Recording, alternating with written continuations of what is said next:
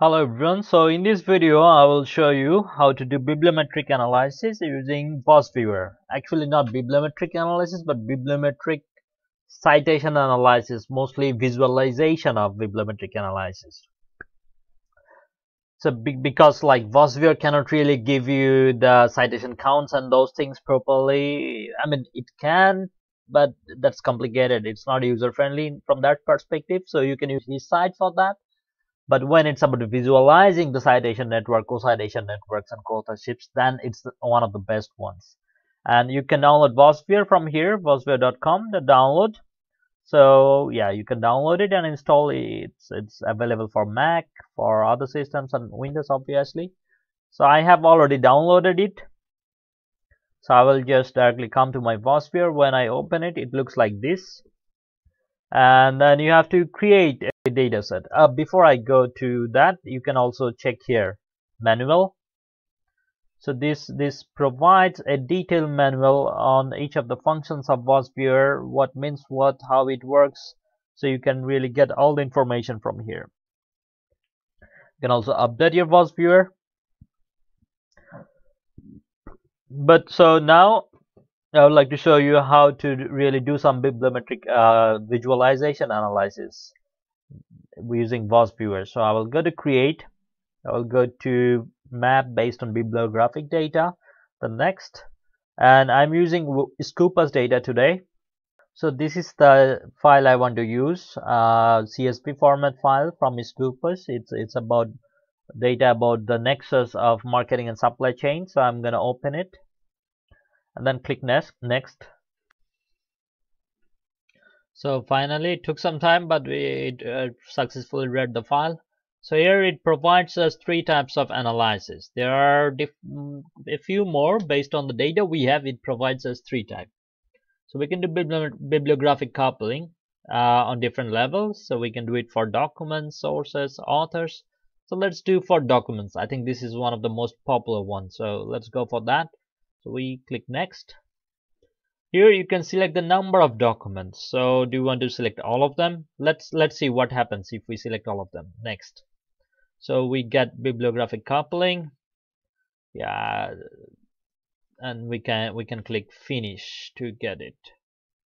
When we click finish we get this that uh, connected documents are 10,000 uh, 1077 not all 1300 are connected so do I want to so all of them are only the connected ones. So I would say, okay, let's show me only the connected ones.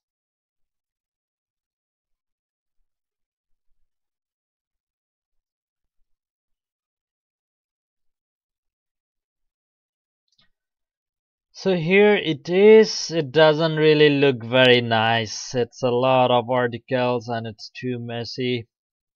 I'm not happy about it so yeah I will I will create another one actually yeah I will so let's say uh, this time I will go for 500 okay I don't want to select all of them so I, I get only 500 with the highest with the highest bibliographic coupling and I click finish.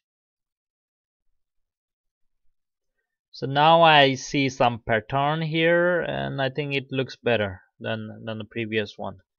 So to make it nicer I can do a few more things. First of all I would say okay I want to see lines color colored lines and curved lines but you don't see any lines here right? So you have to increase the number of lines here and you see some lines right? So you, you can see the connections between the articles. And then yeah obviously I want cluster colors. You can also make the background black. Yeah maybe it looks more fancy with black. You can we can change the size and levels. We can make them smaller.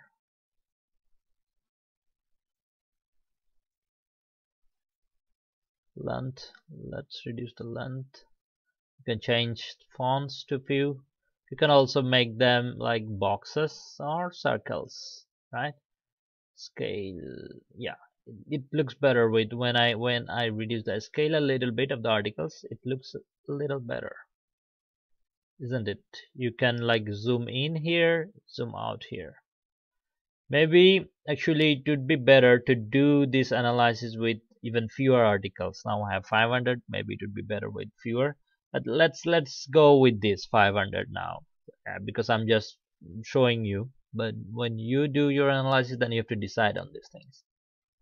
So one more thing you can do is actually you can also see the the articles on these clusters right? There we see some clusters blue green red pink yellow. So here are all the articles but you can group them by clusters. So there are five clusters now and all the articles in each of the clusters are listed on on on the clusters.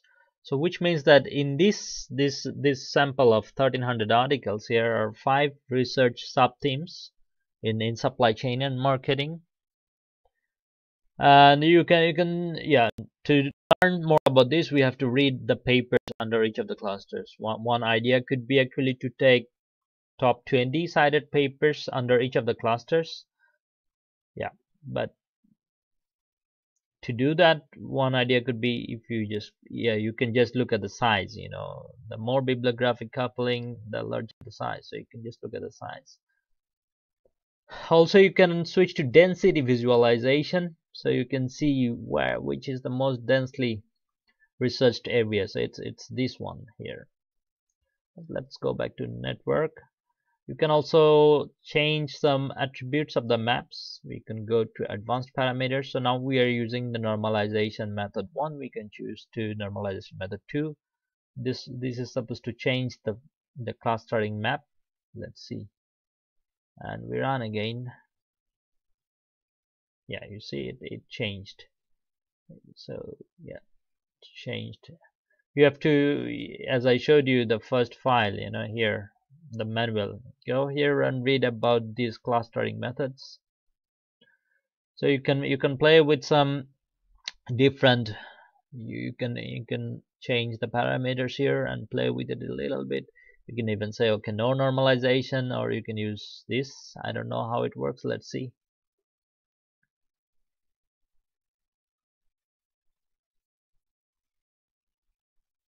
So we get a different kind of network now.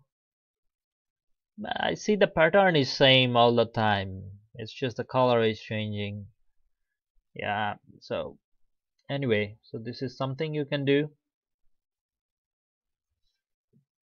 and you can also so this is the bibliographic coupling. So let's see something else. We'll go here create a new one. So let's say we go for now co-authorship mapping. Authors you can do this co-authorship based on authors organization and countries let's see with countries. I mean normally you do oftentimes with authors first and then organizations and countries. Yeah let's say we let's go with authors okay?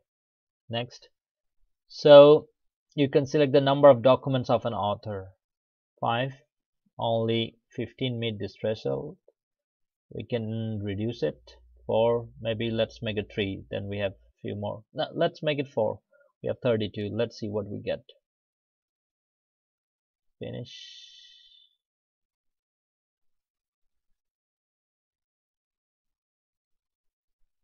Now I want to see all of them. It seems they are not really well connected so we get nothing actually. It's only three of them are connected but yeah not many. So maybe it doesn't really make sense to do this co-authorship analysis here because it's yeah they're not really doing something so let's do for countries. Let's see what we get if we do the co-authorship for countries. Five. Yeah let's see. This is a very nice graph I think. So we can increase the size. I think this looks very good actually. We can see which countries are working together most. So these countries are in this research field of supply chain and marketing interaction these are collaborating and these are collaborating. And here yeah I think this looks very great. I mean it, it's fancy. So there is some fact with countries. Yeah. So if we want to extract this we, we, we can go to screenshots. We can we can click copy to clipboard or save to file or screenshot options or we can just go directly and print it. And yeah that's it mostly. So you can you can actually play with others. You can play with co-author co-citation sometimes you will have based on the data you extracted from the database you will have co-occurrence and other options as well. Covariate analysis so you can do those. Thank you for watching this video so if you find it useful like comment share and subscribe to our youtube channel. And you can visit our website at www.theresearchhub.org for more